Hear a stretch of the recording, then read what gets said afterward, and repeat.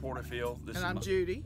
and we're here with our best buds out in the desert and uh, been here about eight weeks with them and we've been having a blast. In the and desert uh, we sadly to say we have to head back home for some stuff but if not we would be dragging i'd be hooked something onto their bumper and following them right on up through utah. But uh, other than that we have to go home.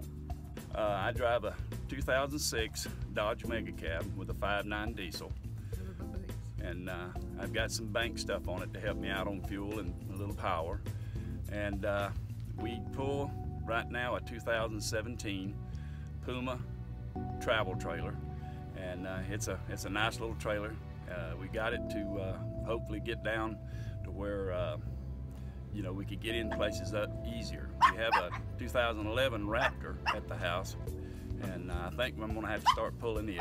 But it's a beautiful trailer, and we're gonna probably start pulling it again. Of course, it's got a generator and all, and uh, we uh, we'll probably have to get that. So other than that, we're pulling the little one right now. What drives us to me to RV is I've been doing it all of my life with my brothers, hunting, been camping, um, and uh, we pulled all kinds. We've pulled bumper pulls. We've had Class A's, we've had Class C's, and we just love camping. I love traveling. I was a truck driver for over 40 years, but you just can't see enough of this beautiful country without camping, and that's what we're doing now. We retired uh, end of last year, and uh, we uh, we are just happy to be out here and happy to know that we can do this to see such a beautiful country.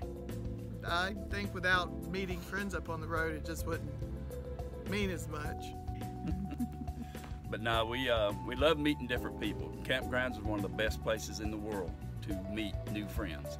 People in the campgrounds are usually the warmest and the friendliest, and uh, that's one of the main reasons we love camping. And if you meet these guys, Yeah, they're the best. they are the best, and they are on Random Bits RV.